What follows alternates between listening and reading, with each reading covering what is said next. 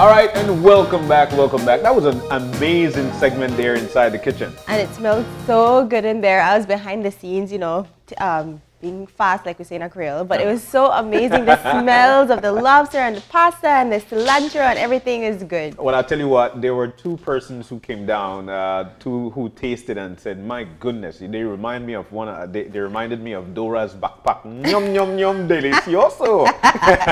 so it was delicious, the food that we had and there. it's amazing how quick it took. Yeah, just about, just about 10 minutes. Yeah. And that's, that's what you call one of those um, uh, quick dinner, uh, TV, not TV dinner, but mm-hmm. quick dinner, you know, yeah. uh, if you want to.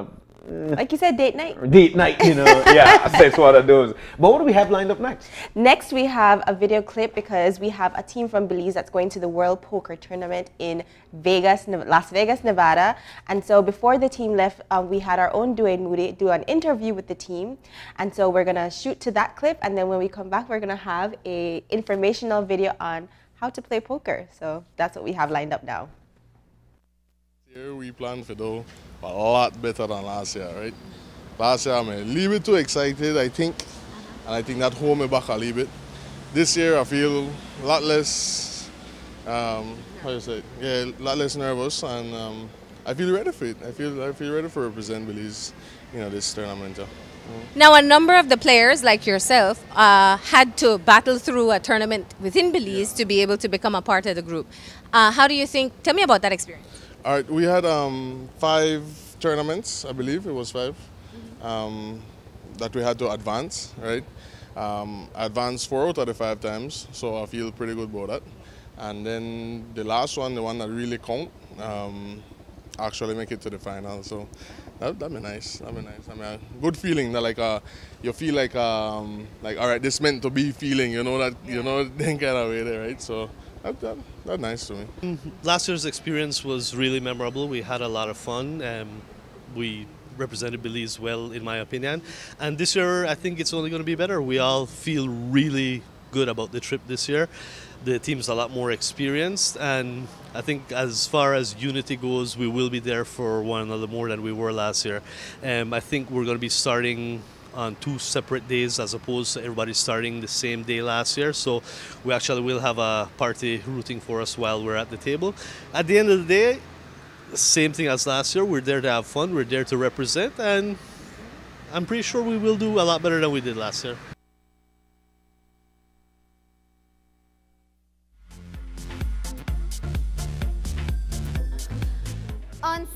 The 25th, it's round two for Team Belize at the World Series of Poker Monster Stack event in Las Vegas, Nevada. Channel 5 will be joining them once again this year, but of course for those non-poker players who really want to keep up with the game, I'm here at the Big Slick Poker Room at the Princess Hotel and Casino, where the players are going to teach me some of the lingo and some of the hands that you need to know during our coverage. Let's go. Normally in poker we play five, the best five cards. Mm -hmm. So as you can see, at this hand we don't have any pair. So we start off with high card being ace, queen. Ace, queen, nine, five deuce. So even this hand could win. This is like the lowest hand you could have, like high card. After the high card is a pair. Okay.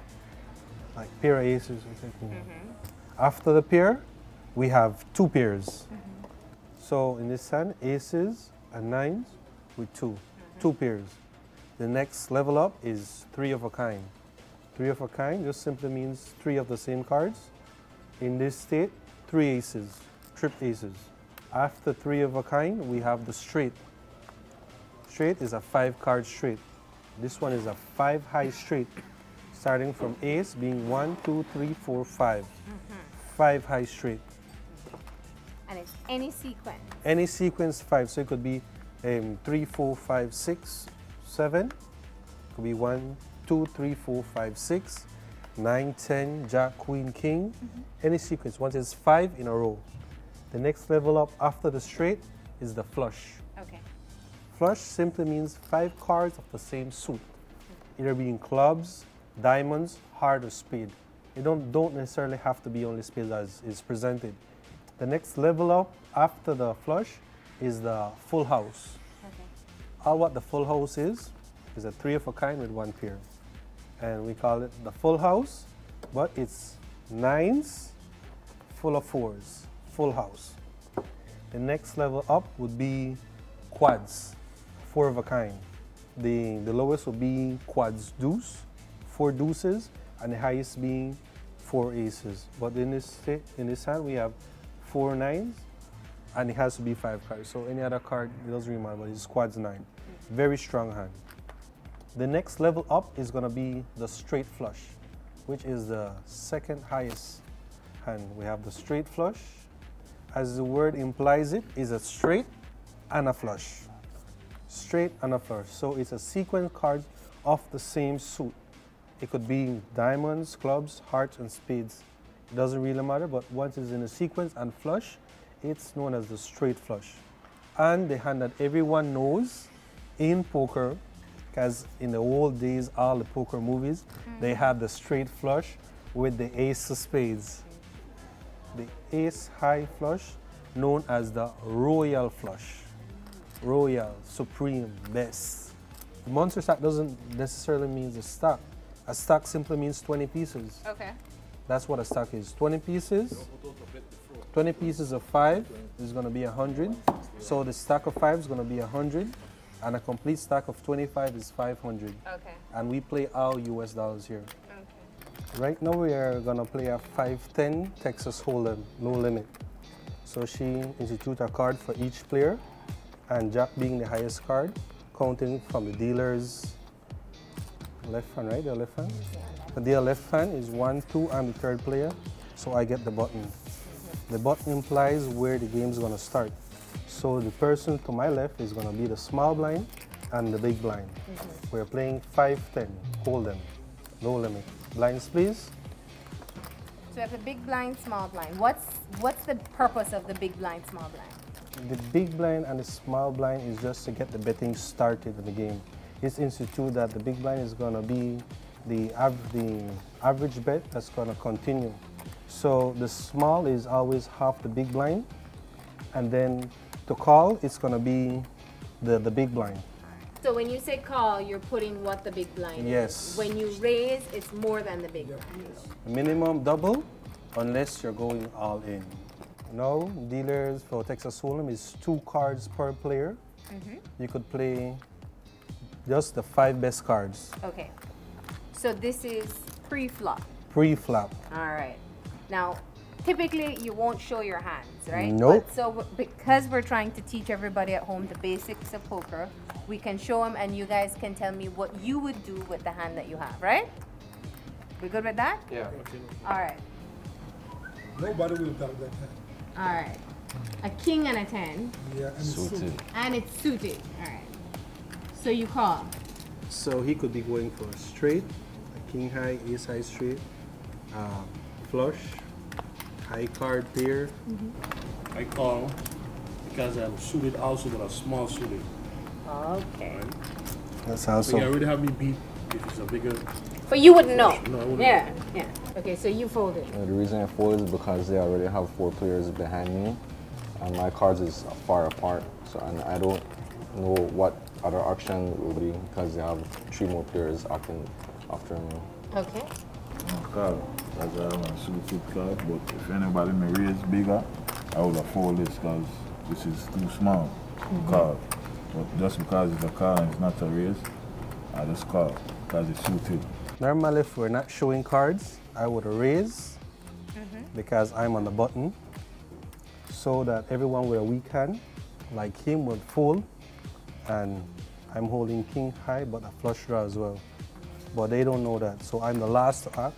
So if they check, I could actually steal the pack. I'm the swiper. Should If, uh, You fold. yeah, to me that's a terrible hand. Okay. I'm going to fold this because I'm the big blind. Normally I get the option to raise or to call, but because these are not suited, I'm going to dump it. But right now it's it's back to him. Okay, it's back to him. Yeah. gonna Now, call. he raised me, Yeah. so I'm gonna raise him back. And see what mm. really he raised on me. Mm-hmm. But if the cards were not showing, he would have just called. Well, yes.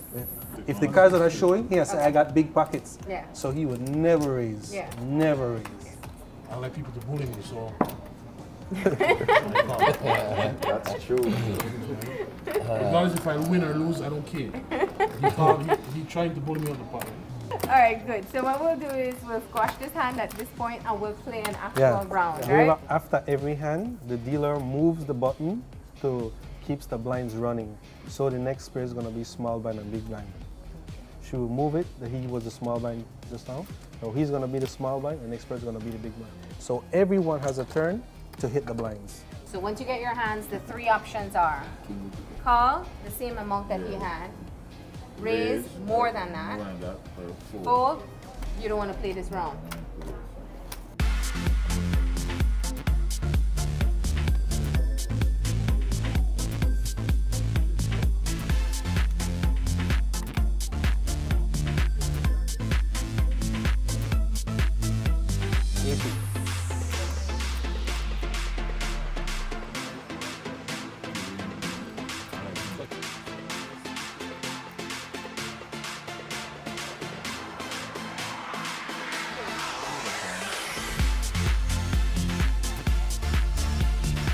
Pockets, it's either two, two of the same cards.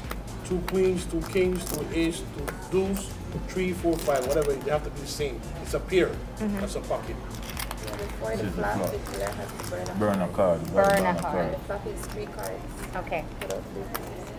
One of you are Yana. Lady. Yes, one flop. This is the flop, three cards. After the flop, there's a turn, so I have to burn another card and put out the next card, which is the turn.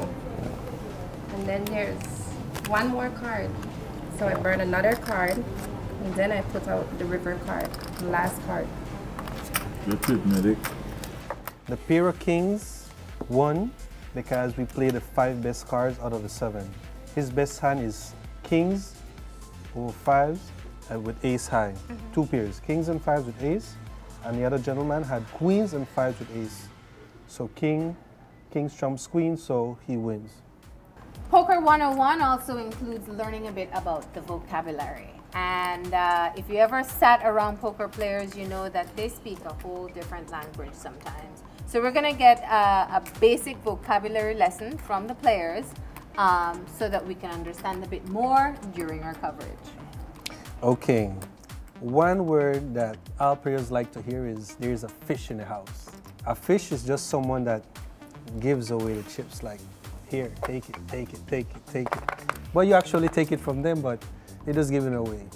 And the upper to a fish is a whale that comes and gives you the whole tray.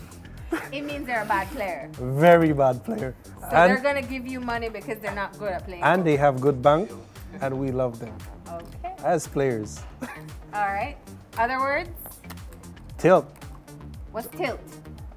when a player go lose a big pot, like he just get frustrated, like, oh damn, I want my money back, you know. Pre-flop, I'm gonna bet all this. Call me now, you know, I don't care. He will call with the worst hands. Just try to make some money. You just you lose your mind. Tilt, aka psychologically damaged. right? Chicken. Chicken? That's- What's chicken? That's why you refer to people that are scared to Scared call. to Tight us. Tight you know, us. when uh, they're uh, or tight, you know, other players are terms that, you know, when they're tight, that's me when they bet, you know, they have something good in their hand. So if you go up against and you got, got something close or a little better. All right. So then loose is? Loose is just, Just bet anything, anything, like anything, five, anything. deuce four, anything you don't That's call. when the fish. Lucky. Okay. Yeah. So the, a loose player would be a fish. And a chop? What's a chop? If two players have the same hand, two or more players have the same hand, after the five cards have been dealt. So chop simply means we split the money inside the pot evenly. A big slick, as you can see up in front, has an ace and a king. Like the name of the poker Yes, room. it's ace and king. That's big slick. Oh. Hence the reason we are big slick poker room. Some people take it as gambling, and well, me and well myself, and I believe other poker players would say it's a sport because they have different skills and strategies for the game. A, a skill like, where, for example, a skill that you may want to learn is um, how to read your, um, your opponent, um, read his different tells. By reading his tells and stuff, you can outplay your opponent, um, even though he might have the stronger hand or the winning hand. You know, I just love the game. The game, I've been playing the game for like, going for 10 years now, you know. And the game is a life change, a lot of fun in it, you know. Get to meet a lot of people, with all kind of people, you know, worldwide, international wise, you know. So eventually, you know, one day you're gonna get lucky. To me, it's a sport. And, you know, um, well, when everybody think about sports, they say, you know, that physical thing or something like that. But, you know, this you to work out a different part of your body. It's the brain. So, like what Taryn said, it's a psychological game. And, you know, people consider it gambling because, you know, you, you got to put in money into it. But, you know, what sport doesn't invest money? It's a lot of fun, and it's a chance so you can go far in the U.S. and you can win a lot of money. And all you need is just luck, a lot of luck. Here at Big Slick Poker Room, which is Fortuna Casino, um, we here we do it's like a more family oriented gambling here in Room. Because um, it's the same players every week, same time, same place. To me, poker is just a part of entertainment to us. Entertainment, that's it. We give a professional service for the dealing. Our staff, the waiting staff, we have lounging area. We just give you an experience as a place to go as an alternative. Instead of, you know, you just hang out on the street or you go to the bars and stuff like that. Come to the poker room. We will, we will indulge you in your entertainment in poker playing. You will enjoy yourself and you will get your money worth. But come with a budget.